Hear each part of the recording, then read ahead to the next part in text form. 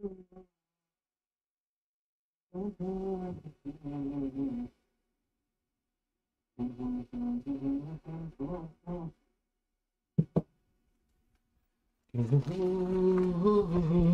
sorry sorry hello hello hello I am live yes I am live क्या बात है?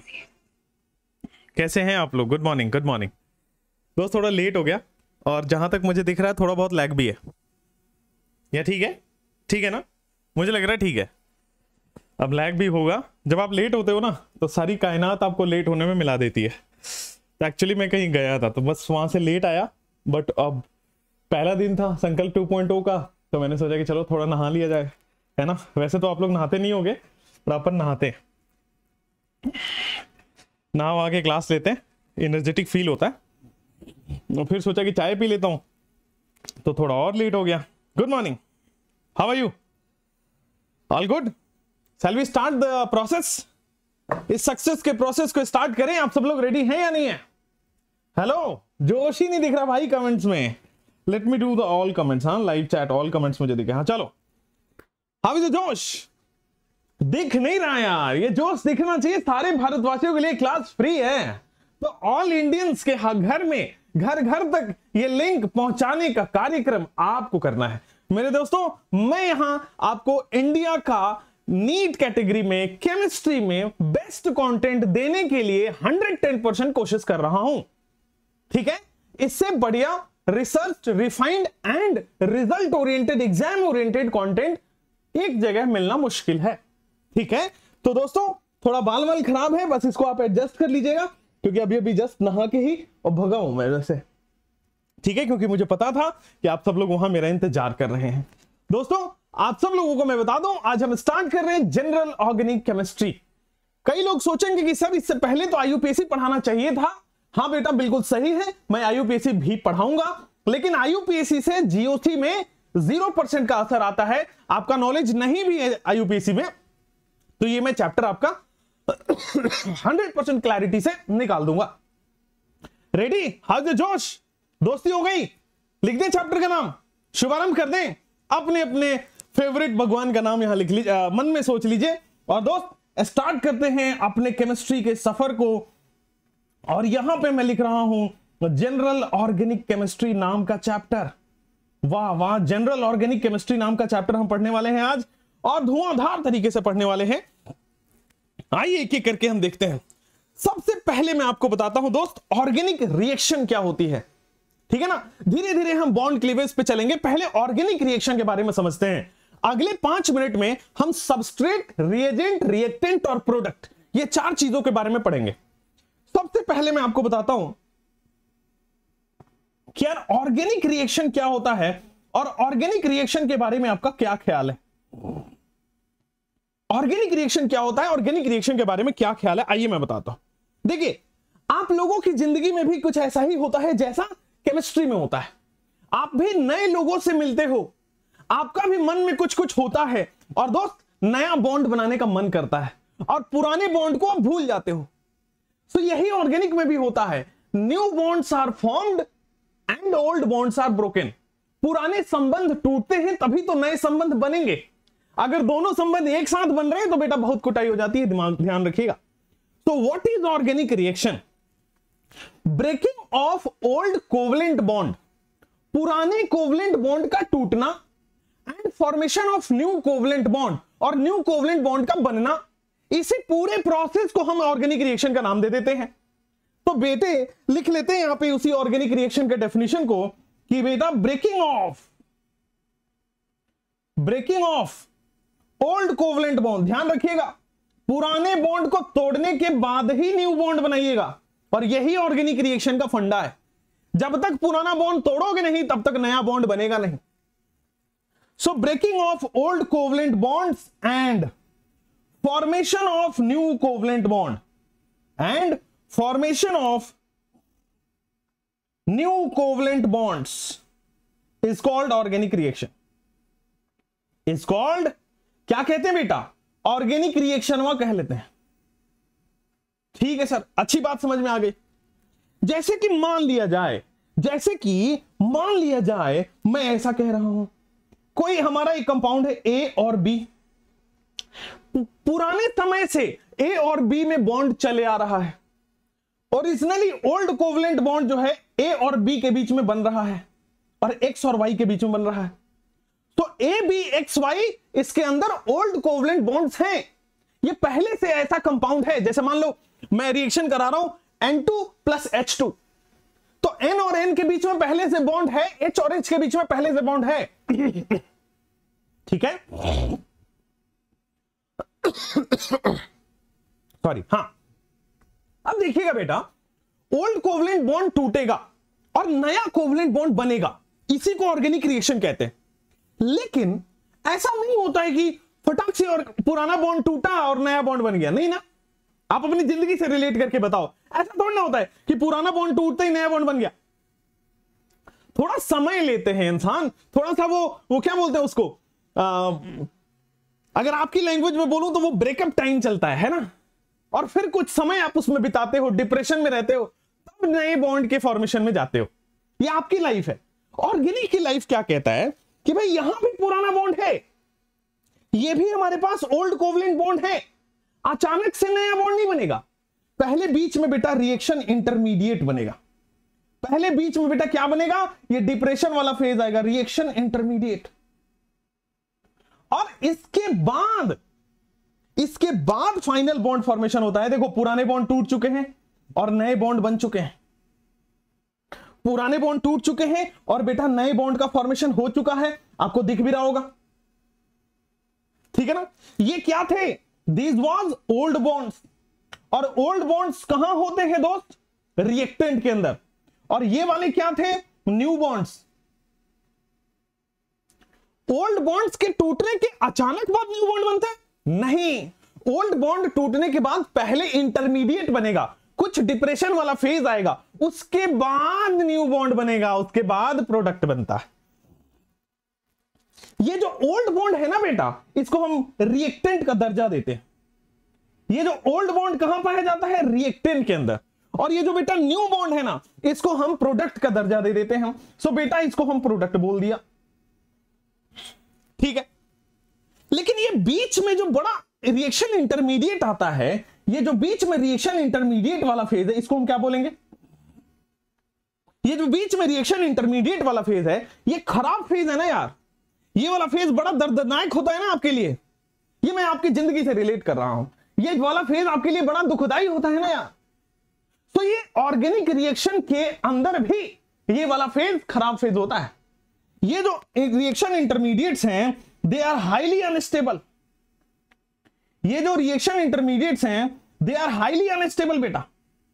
बहुत ही अनस्टेबल होते हैं ये। इसीलिए ये बहुत देर तक एग्जिस्ट नहीं करते। हैं बनते हैं फिर खत्म हो जाते हैं और प्रोडक्ट बना देते हैं। ये बस इनका बनना एक एक रिएक्शन को समय देता है दैट्स इट ओल्ड बॉन्ड टूटना और न्यू बॉन्ड फॉर्म के बीच में एक समय मिलता है रिएक्शन इंटरमीडिएट से। इसका कोई उपयोग नहीं होता है। These are unstable species highly ठीक है? हाईली अनस्टेबल स्पेशीज ठीक है? Which are formed reaction intermediate का डेफिनेशन लिखवा रहा हूँ कि रिएक्शन इंटरमीडिएट क्या है? ये एक हाईली अनस्टेबल स्पेशीज है विच आर फॉर्म्ड जो बनते हैं ड्यूरिंग अ रिएक्शन ये कब बनते हैं? एक रिएक्शन के दौरान बनते हैं क्या? ओल्ड बॉन्ड्स टूटने के बाद बनते हैं क्या? एंड साथ साथ ये भी लिखो ये डिस्ट्रॉयड भी हो जाते हैं and destroyed before the completion of reaction and destroyed before the completion of a reaction so so, reaction के कंप्लीशन से पहले डिस्ट्रॉय भी हो जाते हैं। तो यार ये रिएक्शन इंटरमीडिएट क्या होता है? कैसे कैसे आगे इसमें बढ़ना है? पहले रिएक्शन इंटरमीडिएट समझ आया कि एक रिएक्शन के दौरान ही बनेगा और प्रोडक्ट के बनने से पहले खत्म भी हो जाएगा। ठीक है? तो ये बस एक स्पेस देता है एक टाइम होता है रिएक्टेंट और प्रोडक्ट के फॉर्मेशन के बीच में। तो अपने सिलेबस में रिएक्शन इंटरमीडिएट है क्या? बिल्कुल है। कौन कौन से रिएक्शन इंटरमीडिएट अपने सिलेबस में है? आइए बेटे, सबसे पहले बेटा कार्ब के टाइम ठीक है ना? सबसे पहला जो है वो है कार्ब के टाइम अगर कार्बन के ऊपर पॉजिटिव चार्ज दिख जाए किसी भी कंपाउंड में, किसी भी दुनिया के कंपाउंड में कार्बन के ऊपर पॉजिटिव चार्ज दिख जाए, इसका सीधा साधा मतलब है, भाई साहब, वो कार्बोकेटाइन दूसरा रिएक्शन इंटरमीडिएट कार्बनाइन कार्बनाइन मेरे प्यारे दोस्तों, अगर कंपाउंड में कार्बन के ऊपर नेगेटिव चार्ज चला जाए, अगर कंपाउंड में कार्बन के ऊपर नेगेटिव चार्ज चला जाए, इसको हम क्या बोलते हैं? कार्बनाइन उसके बाद बेटा फ्री रेडिकल या कार्बन फ्री रेडिकल या फ्री रेडिकल लिख लो सीधा सीधा। ठीक है, चलो। Free radical so free radical भी अपने सिलेबस में है। कार्बन के ऊपर अगर एक सिंगल इलेक्ट्रॉन दिख जाए, ना ही पॉजिटिव चार्ज ना ही नेगेटिव चार्ज एक खाली इलेक्ट्रॉन सिंगल इकलौता तो उसको हम फ्री रेडिकल बोलते हैं। इसी तरह इसी तरह बेटा, आपके पास बेंजीन भी एक कार्बन बेंजाइन सॉरी पहले कार्बिन लिख देते हैं, ठीक है ना? कार्बिन भी एक आपका रिएक्शन इंटरमीडिएट है, ठीक है ना? नाइट्रीन भी एक एक्स आपका रिएक्शन इंटरमीडिएट है। उसी तरह बेटा बेंजाइन भी आपका रिएक्शन इंटरमीडिएट है। बेंजाइन ठीक है ना? बेंजाइन भी आपका रिएक्शन इंटरमीडिएट है। बट कार्बिन नाइट्रीन और बेंजाइन जो है, बेटे, ये सिलेबस का पार्ट नहीं है, ठीक है ना? ये भी रिएक्शन इंटरमीडिएट है बट यहाँ पे लिख दीजिएगा नॉट इन सिलेबस ये जेई मेंस के सिलेबस में है, नीट के सिलेबस में नहीं है। और अगर आप नीट के सवाल देखते हैं, कार्बीन का एक रिएक्शन आपके सिलेबस में है। कार्बीन का एक रिएक्शन सिलेबस में है, ठीक है? लेकिन आज तक उसमें कार्बीन के बारे में नहीं पूछा। आज तक केवल रिएक्टेंट और प्रोडक्ट ही पूछा है, ठीक है? और इंटरमीडिएट तो क्या होता है? कार्बीन होता है। तो जब हम नेम रिएक्शन पढ़ रहे होंगे तो कार्बिन की चर्चा थोड़ी बहुत करेंगे। लेकिन नाइट्रीन और बेंजाइन ये जेई में है, नीट में नहीं है। और ये तीनों तो फेवरेट है भाई साहब नीट के। टोटल हमने छह रिएक्शन इंटरमीडिएट पढ़े हैं। ये तीनों तो फेवरेट है नीट के। और कार्बिन थोड़ा बहुत आता है तो हम चारों पढ़ेंगे। कार्बिन को नेम रिएक्शन के समय पढ़ेंगे। चलिए तो बेसिकली हमने मोटे मोटे तौर पे पहली स्लाइड में क्या पढ़ा? क्विक रिकैप कॉमन बेटे। बेसिकली हमने मोटे मोटे तौर पे इस रिएक्शन में क्या पढ़ा? कि दोस्त ओल्ड बॉन्ड्स ब्रेक होंगे और न्यू बॉन्ड्स का फॉर्मेशन होगा। पहली बात, ये अचानक से नहीं होता है। There is a formation of reaction intermediate so बीच में रिएक्शन इंटरमीडिएट का फॉर्मेशन होगा। ठीक है? रिएक्शन इंटरमीडिएट एक बहुत अनस्टेबल स्पेसी होता है। ये डिप्रेशन वाला फ़ेज़ है। पुराने संबंध टूटने में और नए संबंध बनने के बीच में जो डिप्रेशन वाला फ़ेज़ है, बहुत गंदा फ़ेज़ है, बहुत अनस्टेबल फ़ेज़ है। हाईली अनस्टेबल होते हैं। ये रिएक्शन के दौरान ही बनते हैं। रिएक्शन इंटरमीडिएट कब बनेंगे? ये रिएक्शन के दौरान ही बनते हैं ड्यूरिंग रिएक्शन एंड प्रोडक्ट के पहले पहले खत्म भी हो जाएगा। And destroyed before the formation of the product कौन कौन से रिएक्शन इंटरमीडिएट होते हैं? बेटा, छह रिएक्शन इंटरमीडिएट होते हैं। Carbocation carbanion carbon free radical carbene nitrene benzene, benzyne.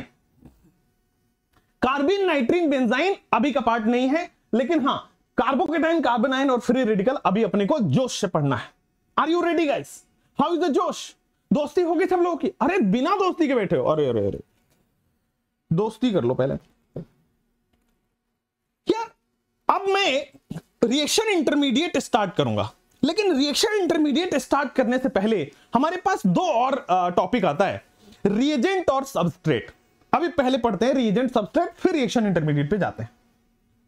अब मैंने आपको बताया कि भाई साहब, मैंने आपको बताया कि भाई साहब, ये जो हमारा रिएक्टेंट है, ये जो हमारा रिएक्टेंट है, जो पीछे देखो, ये जो रिएक्टेंट है, इसमें क्या क्या था इस रिएक्टेंट में? तो क्या आपके पास ए बी था रिएक्टेंट में? और रिएक्टेंट में आपके पास एक्स वाई मोलिक्यूल था। सो ए बी मोलिक्यूल और एक्स वाई मोलिक्यूल ये दोनों आपस में टकराए होंगे कोलिजन हुए होंगे। और कोलिजन होने के बाद बॉन्ड ब्रेक हुआ होगा और नया बॉन्ड फॉर्मेशन हुआ होगा। यही रिएक्शन होता है ना नाइन्थ टेंथ में पढ़े हो आप। चलो। होता क्या है, मेरे दोस्त? ए बी और एक्स वाई में कोई एक इसमें से अटैक करेगा और कोई एक इसमें से अटैक करवाएगा। जैसे आप, मान लीजिए आप ट्यूशन जा रहे हैं, स्कूल जा रहे हैं, या कहीं जा रहे हैं, सिनेमा हॉल जा रहे हैं, कहीं भी जा रहे हैं। उधर से पता लगा स्कूटी पे ब्लैक कलर का स्कूटी पे बहुत ही खूबसूरत कोई चीज़ जा रहा है। अब कोई चीज़ कुछ भी हो सकता है। तो दोस्त, अब आपकी नज़र जो है, आपका जो डेस्टिनेशन है, वो खत्म हो गया। उधर कहाँ जाना है यार? उधर क्या रखा है? जो रखा है सब यूटर्न लेके चलिए। तो भाई साहब, आप यूटर्न लेके चलते हैं पीछे पीछे तो आप अटैकिंग स्पेसी हैं। उसकी नज़र भले ही आप पे नहीं पड़ी है, लेकिन आपके मन के अंदर आप शाहरुख खान फील कर रहे हैं। आपकी नज़र उस पर पड़ गई है और आप अटैक करने निकल चुके हैं। सो रिएक्टेंट दोनों ही हैं बट उसमें से एक अटैकिंग है। आपने स्कूटी घुमाई यूटर्न लिया, आप अटैकिंग हो गए। और जिस पर अटैक करने जा रहे हैं, अगर मान लीजिए, अगर मान लीजिए उसको भी आपकी ये ये बदसूरत शकल आपको पसंद आ गई उसकी अगर उसको आपकी बदसूरत शकल पसंद आ गई और उसने मौका दे दिया कि चलो ठीक है ट्राई और चांस ट्राई और लक तो उसने अटैक करवाने का मौका दिया। आपने अटैक किया और उसने अटैक करवाने का मौका दिया। तब तो जाके रिएक्शन होगा कि नहीं होगा? इसमें से दोनों में से कोई भी चीज़ मिसिंग होगी तो क्या रिएक्शन होना है? नहीं। या तो आप ही अटैक मत करो, या तो अटैक करवाने से मना कर दे। बात समझना। तब जाके रिएक्शन होगा। मेरे प्यारे दोस्त ऑर्गेनिक के अंदर भी ऐसा ही होता है। रिएक्टेंट के अंदर दो मोलिक्यूल है। एक तो अटैक करेगा और दूसरा अटैक करवाएगा। तब जाके रिएक्शन संभव है। अच्छा अब जो अटैक करता है अब जो अटैक करता है मित्रों उसको हम एक खास नाम दे देते अब जो अटैक करता है दोस्तों उसको हमें खास नाम दे दिए दे, दे देते हैं। चलिए। रिएक्टेंट में दो पार्ट होते हैं। एक को बोलते हैं हम सबस्ट्रेट और दूसरे वाले पार्ट को हम बोलते हैं दोस्त रिएजेंट सबस्टेट कौन है? अरे वही सबस्ट्रेट कौन है? वही जिसने स्कूटी यूटर्न मारा है, जो अटैक करने जा रहा है, जो अटैक करता है। लिखेगा सबस्ट्रेट कौन है? सॉरी सबस्ट्रेट और रिएजेंट के बारे में अभी अभी डिटेल में आएगा। कंपाउंड ऑन विच चलिए पहले रिएजेंट लिख लेते हैं। पहले रिएजेंट लिख लेते हैं तो आप कंफ्यूज हो गए। चलो। रिएजेंट वो है जो यूटर्न लिया है। Compound which attacks compound which attacks on substrate जिसने अटैक किया सबस्ट्रेट के ऊपर, वो कंपाउंड जिसने अटैक किया सबस्ट्रेट के ऊपर, वो कि, उसको हम क्या बोलते हैं? रिएजेंट जिसने यूटर्न लिया, वो कौन है? रिएजेंट और थोड़ी दूर चलने के बाद किसी ने नोटिस किया कि कोई मेरा पीछा कर रहा है। अगर उसने अलाउ किया कि हाँ भाई ट्राई और लक तो तो ठीक है। तब रिएक्शन होगा। सो कंपाउंड ऑन विच क्या हो गया? एक सेकेंड कंपाउंड ऑन विच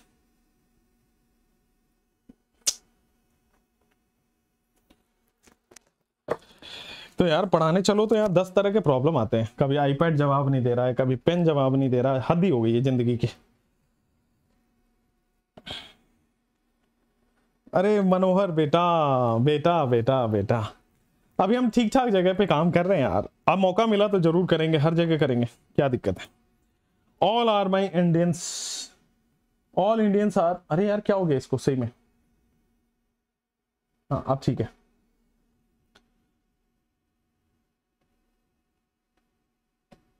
अरे क्या हो गया यार? यार पेन नहीं चल रहा यार। वेट वन सेकेंड इंडियन जुगाड़ हाँ यार पेन टूट गया। जोश में पढ़ाने का ये नतीजा होता है पेन ही गिर गया नीचे। टूट गया है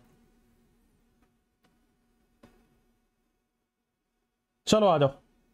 कंपाउंड हाँ अब ठीक है। कंपाउंड देखना, फूकने से बहुत सारी चीज़ें का हल हो जाता है। तो ज़िंदगी में कभी परेशानी आए तो थोड़ा रिलैक्स करिए। फूक फाक लीजिए, आराम से बड़े मतलब फूक फाक लीजिए मतलब ये वाला पेन ठीक है ना? ये भगवान। Compound on which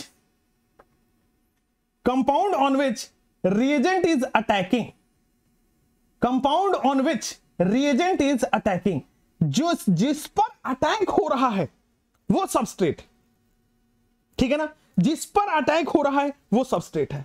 अब एक एग्ज़ाम्पल दूँगा और फिर आपसे कुछ सवाल पूछूँगा। ये मुझे बताओगे क्या इसमें सबस्ट्रेट कौन है और रिएजेंट कौन है? ये रिएक्शन कैसे हुआ, क्यों हुआ, कब हुआ, नहीं पढ़ना है। ये रिएक्शन हो गया। ठीक है ना? अब इस रिएक्शन में बस आपको यह बताना है कि इसमें सबस्ट्रेट कौन है और रिएजेंट कौन है। Which one is the substrate and which one is the reagent अब इसमें सबस्ट्रेट कौन है और रिएजेंट कौन है आपको बताना है। कम ऑन एवरीबडी मेरे प्यारे दोस्तों लेफ़्ट हैंड साइड में रिएक्टेंट है, इतना पता है। कौन अटैक कर रहा है? दिख रहा है क्या कि यहाँ OH जो है OH का लोन पेयर जो है, यहाँ जाके कार्बोकेटाइन पर अटैक करेगा। ओएच का ऑक्सीजन वाला लोन पेयर जो है, वो जाके वहाँ पे अटैक करने वाला है, बहुत ध्यान से देखिएगा। तो जो अटैक करेगा, जिसने यूटर्न मारी है स्कूटी की, क्या हम उसको रिएजेंट कह देते हैं? और जिसने अटैक करवाया, क्या उसको हम सबस्ट्रेट बोल देते हैं? सबस्ट्रेट बोल देते हैं। बिल्कुल सही है क्या? ठीक लग रहा है? समझ आ रहा है? सो so, आपको मैंने सबस्ट्रेट और रिएजेंट का यहाँ पे थोड़ा सा इंट्रो दिया।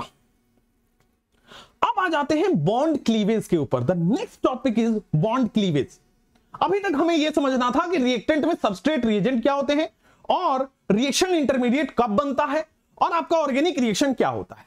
सो so, ये एक बेसिक इंट्रो हुआ। नाउ जीओसी के इंट्रो पे जाते हैं कि भाई अपने को बॉन्ड क्लीवेज के बारे में समझना है।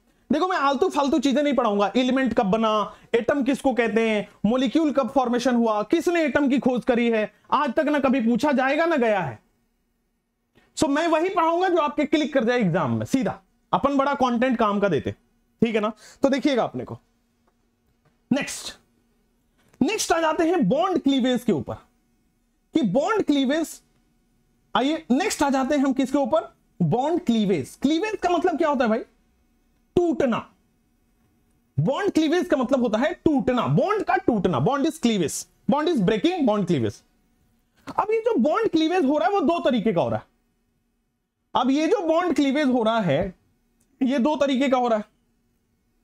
पहला वाला होता है दोस्त होमोलिटिक होमोलिटिक बॉन्ड क्लीवेज पहला वाला होता है होमोलिटिक बॉन्ड क्लीवेज और दूसरा वाला होता है हेट्रोलिटिक और दूसरा वाला होता है हेट्रोलिटिक बॉन्ड क्लीवेज होमोलिटिक का मतलब समझना, अगर बराबर बराबर बंटवारा हुआ है दैट इज़ होमोलिटिक होमो का मतलब होता है सेम अगर सेम अमाउंट में इलेक्ट्रॉन का बंटवारा हुआ है होमोलिटिक और हेट्रोलिटिक का मतलब अगर सेम अमाउंट में इलेक्ट्रॉन का बंटवारा ना हुआ हो, अगर सेम अमाउंट में इलेक्ट्रॉन का बंटवारा ना हुआ हो, इसी को हम क्या कहते हैं? हेट्रोलिटिक आइए बेटे। होमोलिटिक को बेटा हम सिमेट्रिकल बॉन्ड क्लीवेज भी बोलते हैं। होमोलिटिक को बेटा हम सिमेट्रिकल बॉन्ड क्लीवेज का भी नाम देते हैं। ठीक है ना? और हेट्रोलिटिक को हम अनसिमेट्रिकल बोलते हैं। बराबर बराबर बांटना इज़ होमोलिटिक और इसमें बराबर नहीं बटना इज़ हेट्रोलिटिक और अनसिमेट्रिकल यार एक बात बताओ सिमेट्रिकल अगर बटेगा इसको बेटा हम नॉन पोलर बॉन्ड भी बोलते हैं।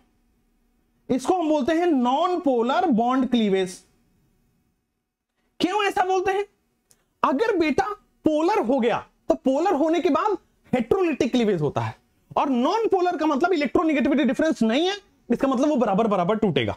ये वाला अगर टर्म है, थोड़ी देर बाद और समझ आ जाएगा आपको। ठीक है? और अनसिमेट्रिकल वाले को क्या हम बोल देते हैं बेटा? पोलर बॉन्ड क्लीवेज अनसिमेट्रिकल वाले को दोस्त पोलर बॉन्ड क्लीवेज का नाम दे दिए, दे देते हैं। बिल्कुल सही है? यस बेटा, इसको हम एक और नाम देते हैं आयोनिक बॉन्ड क्लीवेज क्योंकि उसमें आयंस का फॉर्म होता है। हेट्रोलिटिक में बेटा आयोनिक बॉन्ड क्लीवेज या आयोनिक बॉन्ड नहीं लिखते आयोनिक क्लीवेज लिख देते हैं। ठीक है ना? आयनिक क्लीवेज आयनिक बॉन्ड से आप कहीं केमिकल बॉन्डिंग में ना चले जाओ। आयनिक क्लीवेज भी बोलते हैं इसको। ठीक है ना? क्योंकि इसमें आयंस का फॉर्मेशन होगा और यहाँ पे आयंस का फॉर्मेशन नहीं होगा। इसीलिए इसको हम आयोनिक नहीं बोलते हैं। तो इसको हम अनआयोनिक बोल देते हैं। तो इसको हम बेटा अनआयोनिक क्लीवेज बोलते हैं। ठीक है? धीरे धीरे बात समझ में आ रहा है? भेजा में जा रहा है? भगवान ने भेजा तो भेजा, पर भेजे में भेजा नहीं भेजा। ऐसा नहीं है आपके साथ, है ना? चलिए, लिखिए। अब आते हैं दोस्त एक एक करके। सबसे पहले हम समझेंगे होमोलिटिक क्लीवेज क्या है? फिर हम समझते हैं दोस्त हेट्रोलिटिक क्लीवेज क्या है? और फिर इसमें कार्बोकेटाइन फ्री रेडिकल कार्बन आइन की चर्चा करेंगे। बहुत मज़ेदार है टॉपिक अरे, बात बात समझ में आ रहा है। बाबू, बात समझ में आ रहा है क्या? ठीक है। आइए दोस्त नेक्स्ट आ जाते हैं होमोलिटिक बॉन्ड क्लीवेज नेक्स्ट आ जाते हैं दोस्त होमोलाइटिक या होमोलिटिक बॉन्ड क्लीवेज बेटा बराबर बराबर बटना। सेम अमाउंट में टूटना या बराबर बराबर बटना। चलो। यहाँ पे लिखेंगे बॉन्ड पेयर इलेक्ट्रॉन जो है, यहाँ पे लिखेंगे bond pair electron is equally distributed bond pair electron is equally distributed bond pair electron is equally distributed to to bonding atoms. मतलब समझाता हूँ। मतलब समझाता हूँ। रुकिए। जैसे हमारे पास कोई ए और ए बॉन्ड था। मैंने क्या बोला है? जो बॉन्ड बनेगा, उसमें दोनों एटम जो इन्वॉल्व है, एक बॉन्ड बनने में बेटा एक मेल और फीमेल इन्वॉल्व होते हैं आपकी ज़िंदगी में, और ऑर्गेनिक की ज़िंदगी में दो एटम इन्वॉल्व होते हैं। एक बॉन्ड बनने में दो एटम इन्वॉल्व होंगे। अगर दोनों एटम का इलेक्ट्रोनिगेटिविटी सेम है तो होमोलिटिक क्लीवेज होगा। अगर दोनों एटम का इलेक्ट्रोनिगेटिविटी सेम है। एक बॉन्ड के दोनों एटम का इलेक्ट्रोनिगेटिविटी सेम हो तो फिर वहाँ पे बराबर बराबर बंटवारा होगा। होमोलिटिक बॉन्ड क्लीवेज बोला जाएगा। आइए आसानी से पढ़ लेते हैं। दोस्त, यहाँ भी एक बॉन्ड में दो इलेक्ट्रॉन होते हैं क्या? तो दोस्त, जब यहाँ पे टूटा है सो ए फ्री रेडिकल और ए बराबर बराबर बट गया। और मैंने आपको थोड़ी देर पहले बताया था, अगर किसी भी कंपाउंड के ऊपर एक फ्री रेडिकल एक सिंगल इकलौता इलेक्ट्रॉन बन जाए तो उसको हम क्या बोलते हैं? Free radical so homolytic cleavage से क्या बोलते हैं? Free radical intermediate are form क्या बनता है? फ्री रेडिकल इंटरमीडिएट बन जाता है. Free radical intermediate is formed बहुत शानदार बात है क्या?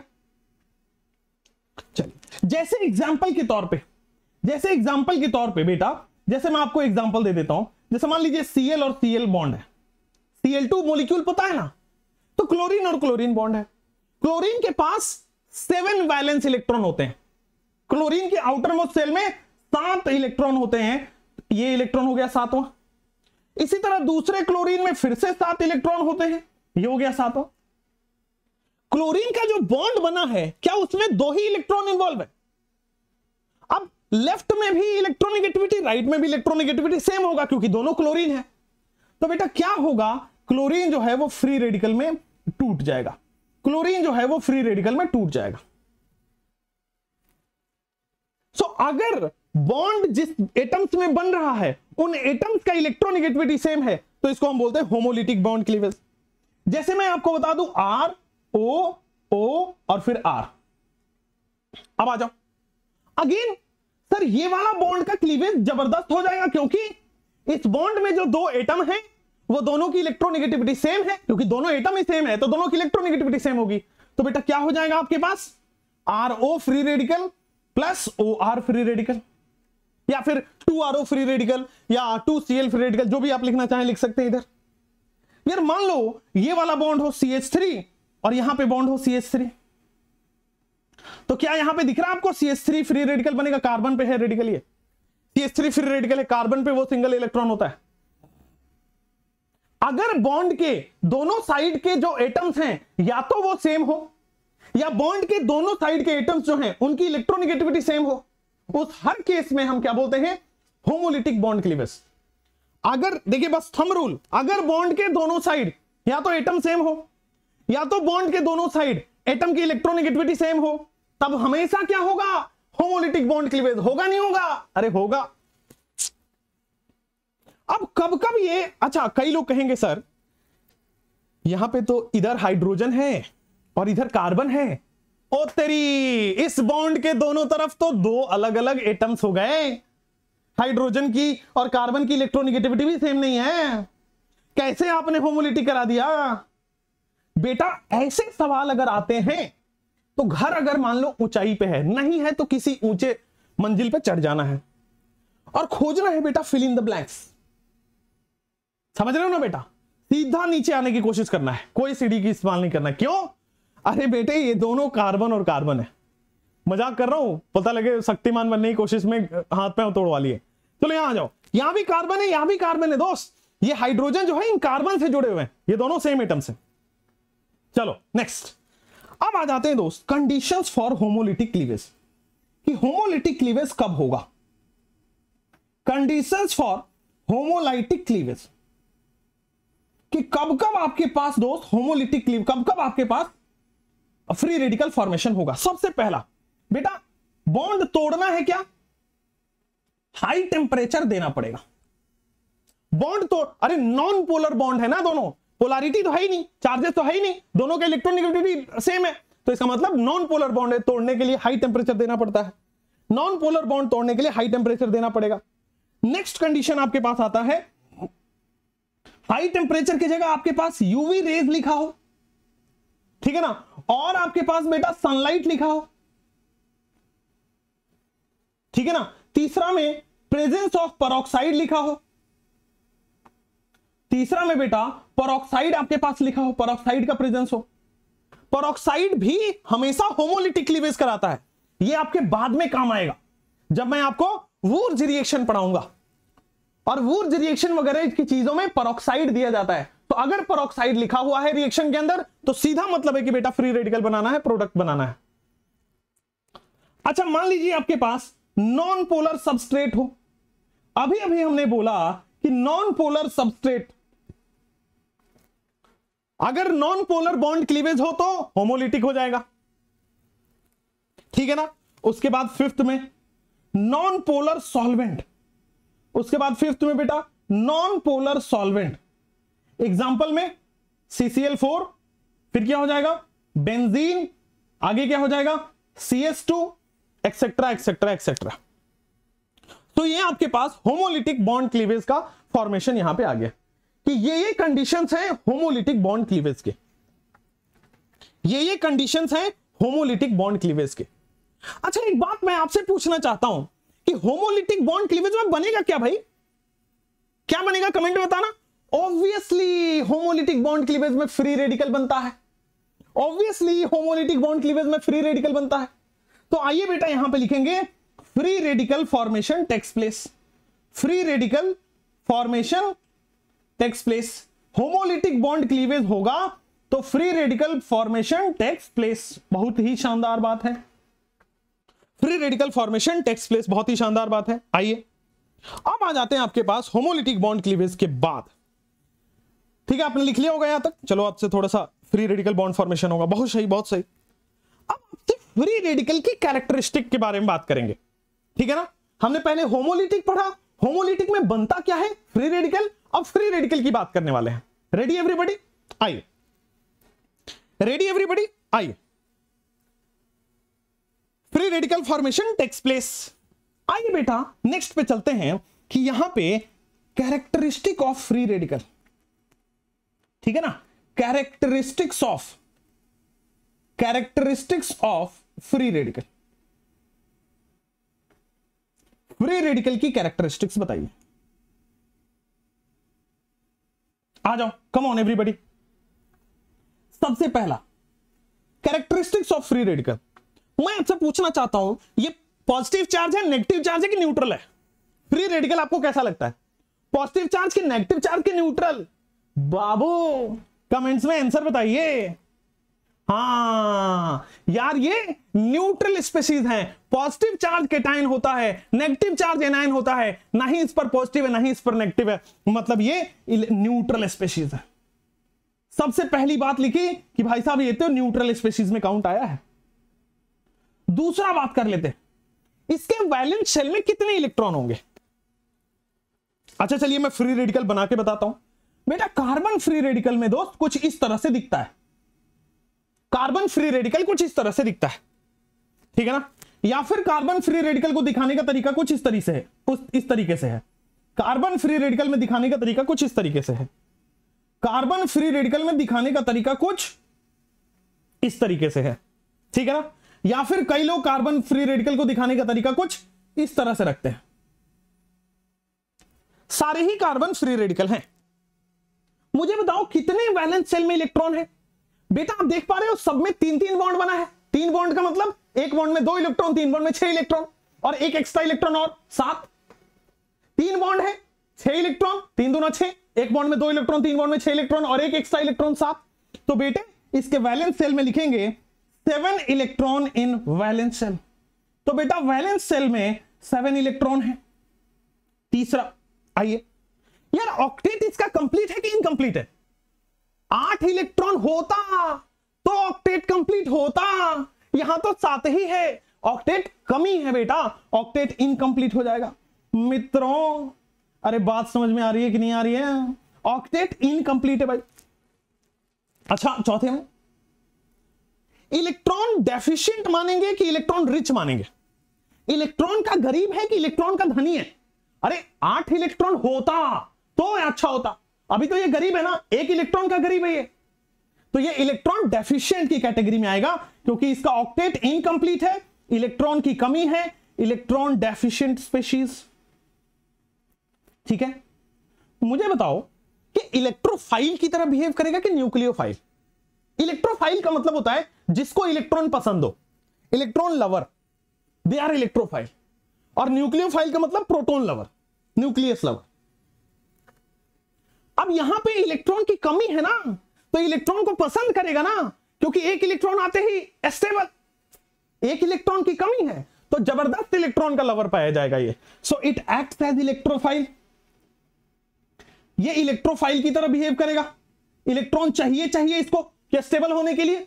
ठीक है सिक्स केस एक बात बताओ, ये लुइस एसिड होगा कि लुइस बेस होगा? ये लेविस एसिड की तरह बिहेव करेगा या लेविस बेस की तरह बिहेव करेगा? लुइस एसिड या लुइस बेस? यार लुइस एसिड वो होता है जो लोन पेयर एक्सेप्ट कर ले और लुइस बेस वो होता है जो लोन पेयर डोनेट कर दे। अब सात इलेक्ट्रॉन है। अगर ये लोन पेयर ले आया, लोन पेयर में दो इलेक्ट्रॉन हो तो नौ इलेक्ट्रॉन हो जाएगा, ऑक्टेट से ज़्यादा, वो भी खतरनाक। ऑक्टेट से कम भी अनस्टेबल होता है, ऑक्टेट से ज़्यादा भी अनस्टेबल होता है। ऑक्टेट ही स्टेबल है, आठ इलेक्ट्रॉन ही स्टेबल है। तो इसके पास सात इलेक्ट्रॉन तो पहले थे। अगर इसने लोन पेयर एक्सेप्ट किया तो दो इलेक्ट्रॉन एक्सेप्ट किया तो इसमें सात प्लस दो नौ इलेक्ट्रॉन हो गया ऑक्टेट से ज़्यादा हो गया अनस्टेबल हो जाएगा। और इसके पास सात इलेक्ट्रॉन है डोनेट तो करने का सवाल ही नहीं है। भाई ये खुद ही गरीब है क्या डोनेट कर पाएगा? खुद ही इसके पास इलेक्ट्रॉन की कमी है क्या डोनेट कर पाएगा? सो so, ना ही ये ले सकता है लोन पेयर अगर लेने से क्या होगा नो इलेक्ट्रॉन हो गया अनस्टेबल हो जाएगा। और ना ही ये दे सकता है क्योंकि खुद के पास कमी है। सो so, ना ही लेगा ना ही देगा ना ही आदान होगा, ना ही प्रदान होगा, ना ही लुइस एसिड होगा, ना ही लुइस बेस होगा। धन्य हो प्रभु, बात समझ में आ रही है, नहीं आ रही है? अरे, बात समझ में आ रही है, नहीं आ रही है? ना ही ये लुइस एसिड होगा, ना ही ये लुइस बेस होगा। लुइस एसिड होने की वजह से नौ इलेक्ट्रॉन हो जाएगा, अनस्टेबल। लुइस बेस हो ही नहीं सकता, खुद के पास कमी है, कहाँ डोनेट करेगा? ठीक है तो लिखिएगा, ये बहुत इंपॉर्टेंट पॉइंट मैंने आपसे डिस्कस किया। लिखेगा यहाँ पे, neither a Lewis acid nor a Lewis base neither a Lewis acid nor a Lewis base अब देखिए लुइस एसिड कौन है और लुइस बेस कौन है? आइए समझते हैं। लुइस एसिड का मतलब can not accept can not accept lone pair LP का मतलब lone pair can not accept lone pair क्यों? क्योंकि नो इलेक्ट्रॉन हो जाएगा अनस्टेबल और लुइस बेस क्यों नहीं होगा? Can not donate lone pair क्योंकि इसके पास खुद ही कम है। आइए सेवेंथ पॉइंट आइए सेवेंथ पॉइंट सिग्मा बॉन्ड कितने भाई इसके पास? अरे दिख रहा है। सरयाम सबके सामने दिख रहा है भाई साहब। क्या दिख रहा है आपको? तीन सिग्मा बॉन्ड, और कुछ नहीं देखना आपको। थ्री सिग्मा बॉन्ड है।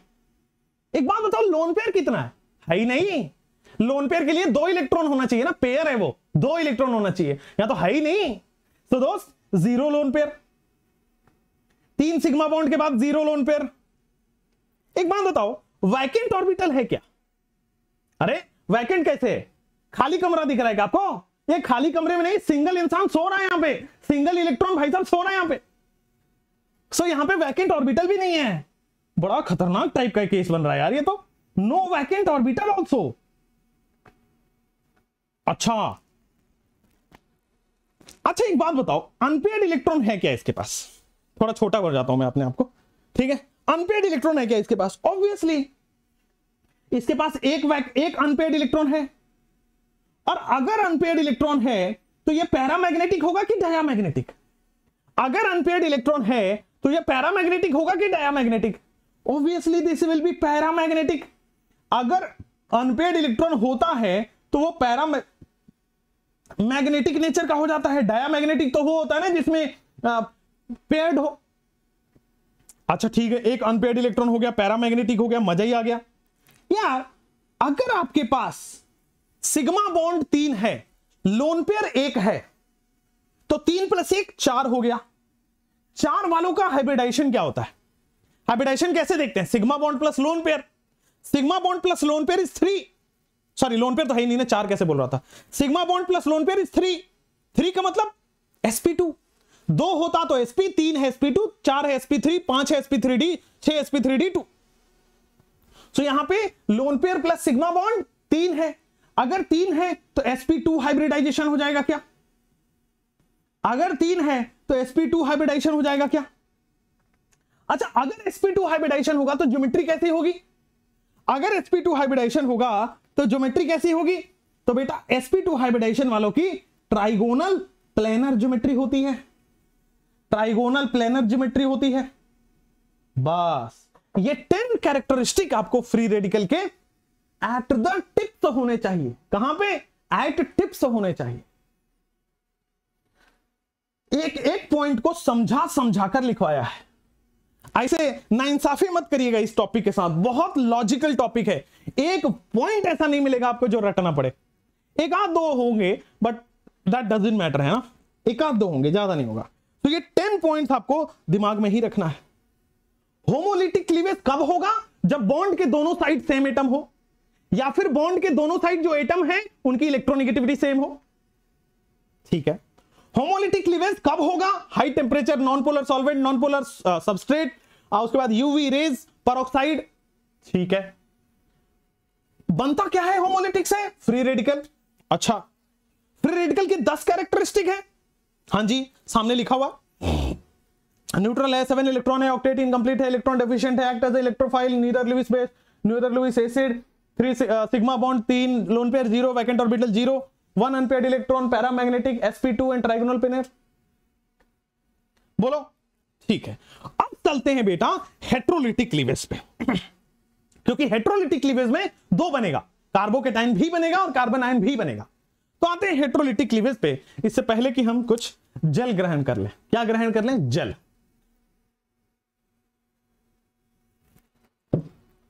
आप लोग भी अपने अपने टेबल पे जो है ना जल रखा करिए और जल लिया कीजिए हमेशा। ठीक है ना? बॉटल रखा कीजिए। बॉटल में कुछ भी रख सकते हैं। जल के अलावा ग्लूकोज रख सकते हैं ऑरेंज जूस रख सकते हैं। आप बॉटल का मतलब पता नहीं आपको क्या चमकता है।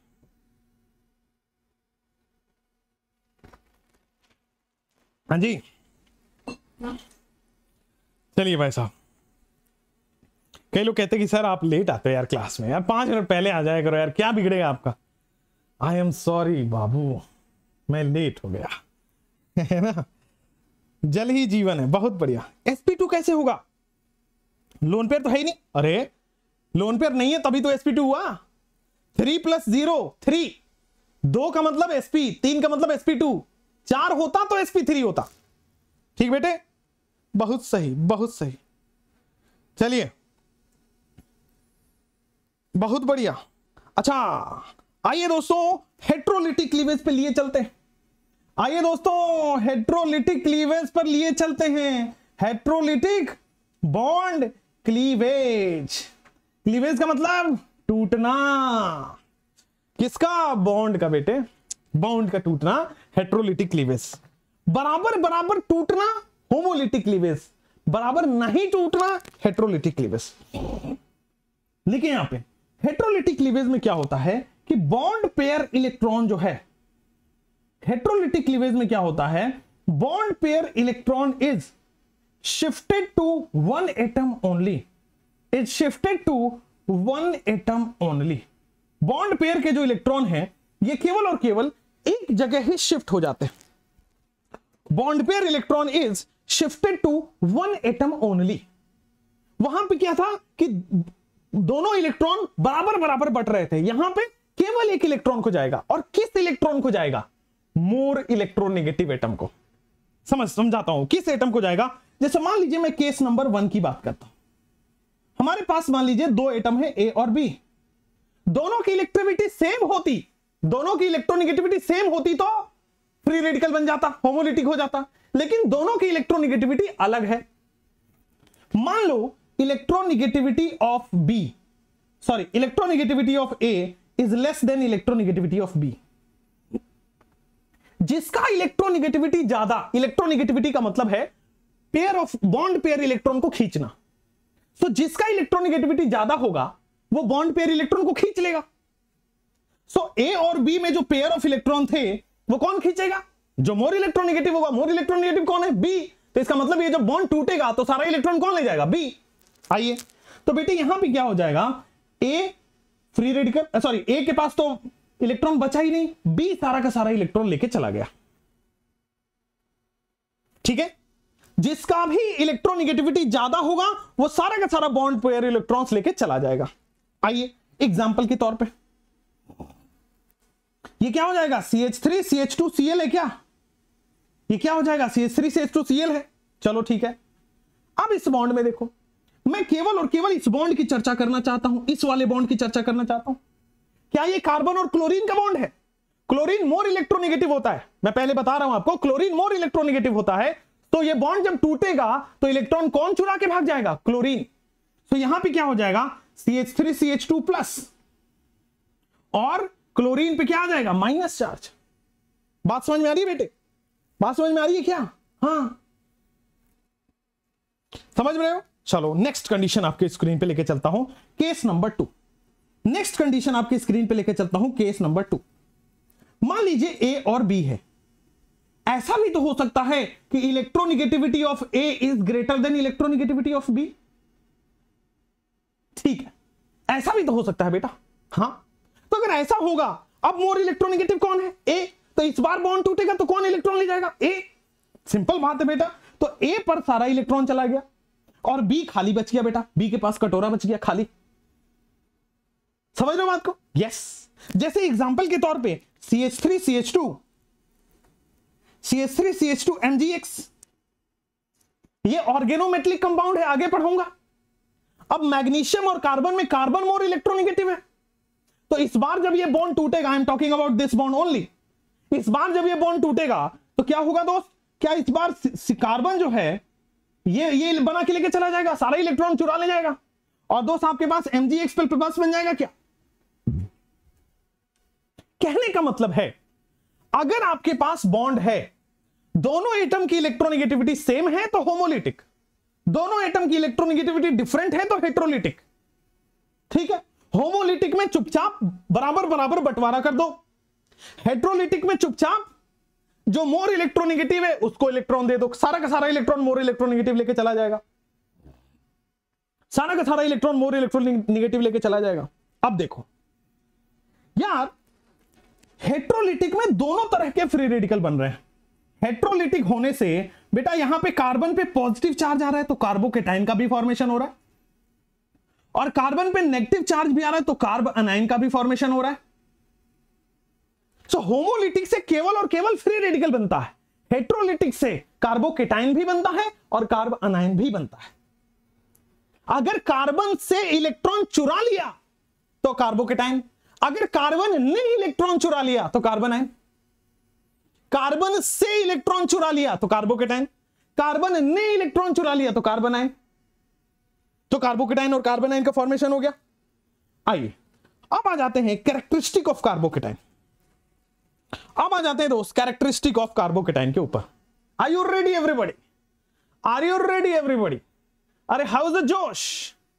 हाउ इज़ द जोश? High sir how is the जोश? हाई सर सो अब हम पढ़ने वाले हैं दोस्त कैरेक्टरिस्टिक ऑफ़ कार्बोकेटाइन अब फिर से वही दस टॉपिक की हम बात करेंगे। दस हो जाएगा, नौ हो जाएगा, आठ हो जाएगा, लेकिन देखना है आप कार्बो कैरेक्टरिस्टिक ऑफ़ कार्बोकेटाइन और फिर पढ़ेंगे दोस्त किसकी? कैरेक्टरिस्टिक ऑफ़ कार्बोनाइन भी पढ़ेंगे। ठीक है? आइए, अब कार्बोकेटाइन क्या होता है? आइए समझते हैं। कार्बोकेटाइन आपका कुछ इस तरीके से दिखता है। कार्बन के तीन बॉन्ड बन रहे और कार्बन पे क्या है? पॉजिटिव चार्ज या फिर आपको कैसा एग्जामिनर दिखा सकता है? कार्बन के तीन बॉन्ड बन रहे और या फिर जो वैकेंट ऑर्बिटल है, उसमें पॉजिटिव चार्ज या फिर कई बार बुक्स में कुछ ऐसे भी दिखाया जाता है। ये वैकेंट ऑर्बिटल है, यहाँ पे पॉजिटिव चार्ज। या फिर कई बुक्स में दोस्त ऐसे भी दिखाया जाता है कि दोस्त, ये वाला ऑर्बिटल है और यहाँ पे पॉजिटिव चार्ज। सो कार्बोकेटाइन को दिखाने का तरीका बड़ा सिंपल है। मात्र और मात्र और मात्र तीन बॉन्ड बने हैं। बाकी एक पॉजिटिव चार्ज आएगा, उसका कोई रोल नहीं होता, बस वो चार्ज दिखाता है कि पॉजिटिव है कि नेगेटिव है कि न्यूट्रल है। अब मुझे बताओ, ये न्यूट्रल है कि पॉजिटिव है कि नेगेटिव है? तो सबसे पहला पॉइंट तो यही आ जाएगा ना यार इलेक्ट्रिकली पॉजिटिव या फिर positive charge species positively charge species ठीक है सर पहला पॉइंट तो क्लियर हो गया।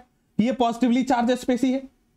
एक बात बताओ, कितने इलेक्ट्रॉन हैं? इसके वैलेंस शेल में कितने इलेक्ट्रॉन हैं? खाली तीन सिग्मा बॉन्ड है क्या? खाली तीन सिग्मा बॉन्ड है क्या?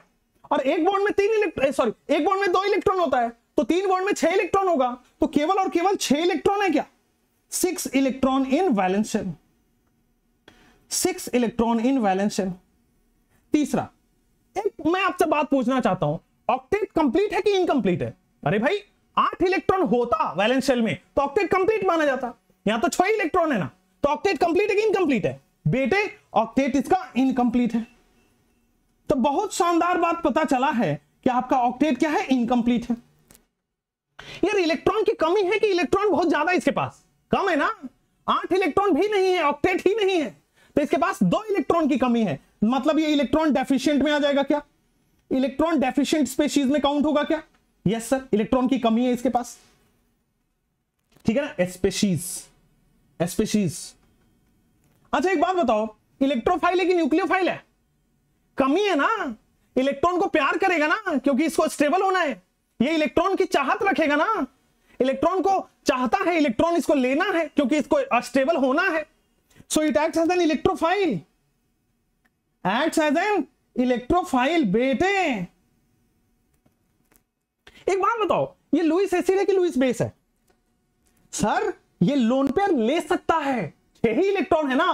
पेयर ले लेगा तो दो इलेक्ट्रॉन ले लेगा, आठ हो जाएगा, ऑक्टेट कंप्लीट हो जाएगा। ज़बरदस्त हो गया क्या? छह ही इलेक्ट्रॉन है ना? दो इलेक्ट्रॉन आ जाएगा तो पेयर आ जाएगा ऑक्टेट कंप्लीट हो जाएगा, आठ इलेक्ट्रॉन आने से। तो बेटे, यहाँ पे क्या? Act as a Lewis acid लिख दो? एक्ट एज लुइस एसिड लिख दू क्या? अरे, बोलना पड़ेगा भैया। ये लुइस एसिड की तरह एक्ट करेगा भाई। It act as Lewis acid हाँ जी। ठीक है। It can accept pair of electron इसका रीजन भी लिख लीजिए। Accept a pair of electron so electron के पेयर को एक्सेप्ट कर लेगा। यार, एक बात बताओ, कितने सिग्मा बॉन्ड है? मैं बता देता हूँ आपकी वजह से। थ्री सिग्मा बॉन्ड है क्या? अरे दिख रहा है भाई, तीन बॉन्ड बन रहे हैं। वैकेंट ऑर्बिटल है क्या?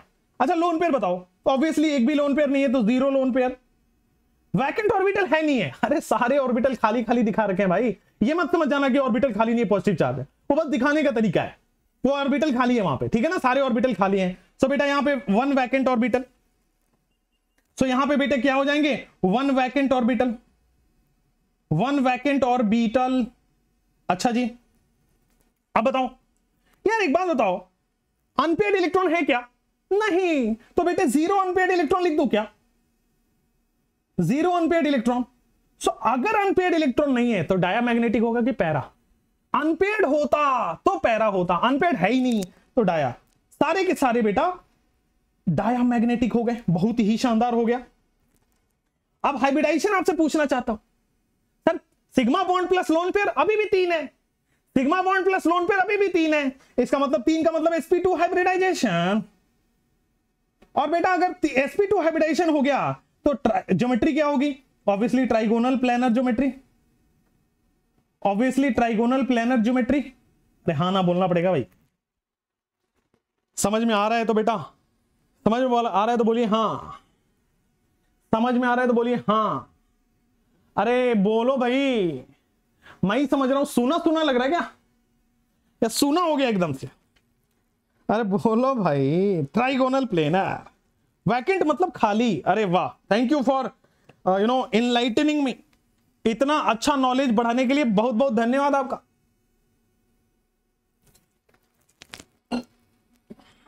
बाबू, समझ आ रहा है कि नहीं? अरे। अच्छा पहले कह रहे थैंक यू मत बोलो सर इट्स ओके अच्छा। अबे, तुम आओ थोड़ा ऑफलाइन ऑफलाइन में पढ़ो यार, हमारे साथ, है ना? तो आओ थोड़ा ऑफलाइन में पढ़ो हमारे साथ। आओ। चलो बेटा। तो ये हो गया सर कार्बोकेटाइन की कैरेक्टरिस्टिक हो गई। है ना? ये कार्बोकेटाइन की कैरेक्टरिस्टिक हो गई। अब वहाँ पे हेट्रोलिटिक क्लीवेज से तो कार्बन भी बनता है ना? अरे, बोलना पड़ेगा यार। हेट्रोलिटिक क्लीवेज से तो कार्बन आयन भी बनता है ना यार। तो आइए कैरेक्टरिस्टिक ऑफ़ कार्बन आयन की बात कर लेते हैं। तो आइए बेटा characteristic of carbanion characteristic of carbanion बोलो भारत माता की जय। बेटा, जोश खत्म नहीं होना चाहिए। बोलो जय हिंद, जय भारत। वंदे मातरम, क्या बात है, बहुत बढ़िया। अमेजिंग ऐसे जोश बनाए रखिए क्लास में, है ना? जोश बनाएँगे तो आपका मास्टर भी बहुत जोशीला रहेगा, आपको बढ़िया पढ़ा पाएगा।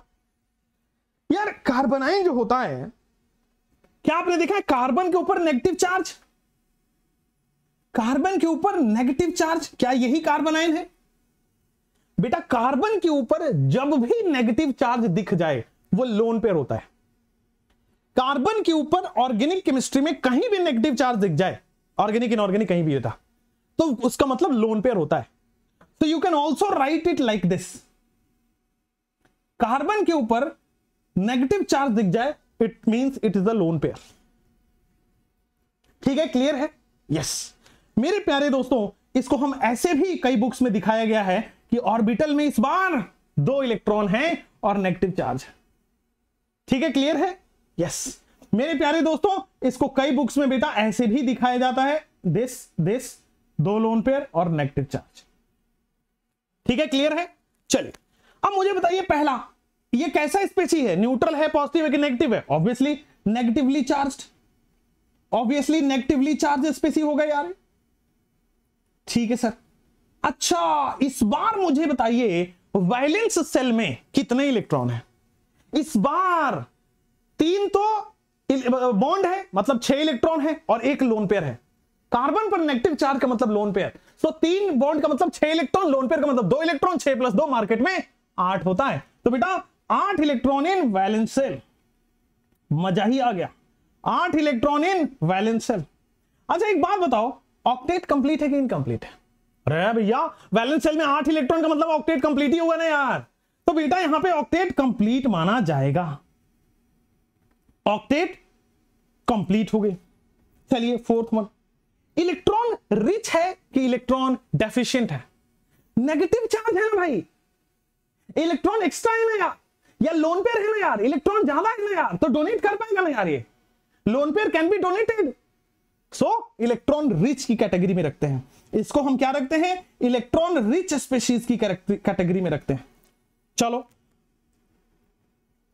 इलेक्ट्रोफाइल की न्यूक्लियोफाइल यार, ये इलेक्ट्रॉन एक्सेप्ट कर सकता है कि डोनेट कर सकता है? अरे इलेक्ट्रॉन डोनेट कर सकता है। लोन पेयर है ना यार। तो ये इलेक्ट्रोफाइल होगा कि न्यूक्लियोफाइल होगा? ये न्यूक्लियस को प्यार करेगा ना? ये नेगेटिव चार्ज इसके पास ऑलरेडी है। ये प्लस वाले को प्यार करेगा, न्यूक्लियस को प्यार करेगा। It acts as a nucleophile it acts as a इसके पास पहले से नेगेटिव चार्ज है। तो इसको प्यार किससे होगा? पॉजिटिव चार्ज से। Positive charge nucleus loving Lewis acid की लुइस बेस लोन पेयर है। डोनेट कर पाएगा। It means it is a Lewis base it means it is a Lewis base अच्छा एक बात बताओ, कितने सिग्मा बॉन्ड है? तीन सिग्मा बॉन्ड। लोन पेयर कितने हैं? एक लोन पेयर तीन सिग्मा बॉन्ड, एक लोन पेयर वैकेंट ऑर्बिटल है ही नहीं बेटा। वो लोन पेयर जो है, वो उसी वैकेंट ऑर्बिटल में पड़ा हुआ है। ठीक है ठीक है। वैकेंट ऑर्बिटल नहीं है इसके पास। अब बताना कि हाइब्रिडाइजेशन कितना होगा? अब बताना हाइब्रिडाइजेशन कितना होगा? चलो, पहले लिखते हैं अनपेड इलेक्ट्रॉन है क्या? तो यहाँ पे बेटा अनपेड इलेक्ट्रॉन नहीं है। ज़ीरो अनपेड इलेक्ट्रॉन इसलिए ये डायामैग्नेटिक की कैटेगरी में आएगा। नाइन्थ वन बेटा sigma one plus lone pair कितना? बेटे चार। और sigma one plus lone pair चार का मतलब sp3 इस बार। सो so, कार्बोकेटाइन और फ्री रेडिकल तो sp2 थे। कार्बोनाइन हमारा sp3 हाइब्रिडाइजेशन आ गया। और sp3 हाइब्रिडाइजेशन का मतलब ज्योमेट्री टेट्राहेड्रल बहुत ही बढ़िया बेटे। Geometry, tetrahedral geometry. बतवा समझ में आ रहा है कि नहीं? अरे, गजब हो गया, गजब हो गया, गजब हो गया। लिखवा लीजिए यहाँ पे। मास्टर आपका कंफ्यूज कर रहा है और आप कंफ्यूज हो अरे भाई, जब भी तीन सिग्मा बॉन्ड और एक लोन पेयर होगा, ज्योमेट्री चलो टेट्राहेड्रल होगा, लेकिन शेप आपका क्या हो जाएगा दोस्त? यहाँ पे ट्राइगोनल पिरामिडल शेप लिखेंगे, यहाँ पे ज्योमेट्री नहीं लिखेंगे। Trigonal pyramidal. ट्राइगोनल, ये शेप और ज्योमेट्री का डिफरेंस मैं बताऊँगा आपको केमिकल बॉन्डिंग में। Trigonal pyramidal shape and tetrahedral geometry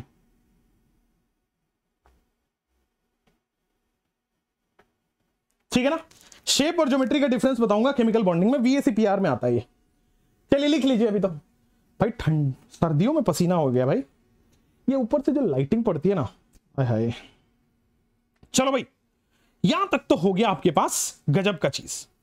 अब आपके पास आता है इलेक्ट्रॉनिक डिस्प्लेसमेंट इफ़ेक्ट कौन आता है अब? इलेक्ट्रॉनिक डिस्प्लेसमेंट इफ़ेक्ट जिसके अंदर इंडक्टिव पढ़ना है रेजोनेंस पढ़ना है, आपके पास ज़बरदस्त ज़बरदस्त चीज़ें पढ़नी है आपको। समय क्या हुआ भाई? ग्यारह बज के ग्यारह मिनट, अभी तो कुछ हुआ ही नहीं यार। हम तो मात्र एक घंटे ही पढ़ाई किए हैं। बोलो, पढ़ लें और। हाँ शेप में लोन पेयर कंसिडर नहीं करते हैं। बिल्कुल सही बात है। चलिए, ठीक है। तो यहाँ पे आ गया बेटा, और थोड़ा पढ़ ले कि नहीं। एक तो तुम इतना जोश कम हो जाता ना तुम्हारा। ऑल चैट ऑल चैट हाँ ऑल चैट दिख रहा है अब। चलो। हाँ थोड़ा बहुत तो पढ़ लेते हैं। चलो। आपके जीवन में क्या परेशानी आ रही है, कुछ बता सकते हो क्या मुझे?